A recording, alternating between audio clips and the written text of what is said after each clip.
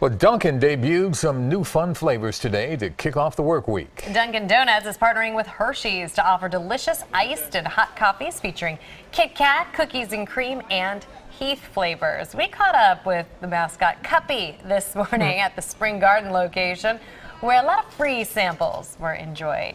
You had me at Kit Kat. Yeah, me too. Those are our mm. favorite. Mm. We have that in common. How come Cuppy didn't come up the elevator and I was going to say, hopefully they're doing an evening shift come on, with Cup- those samples. Cupster? Come on, man. If you're watching, welcome.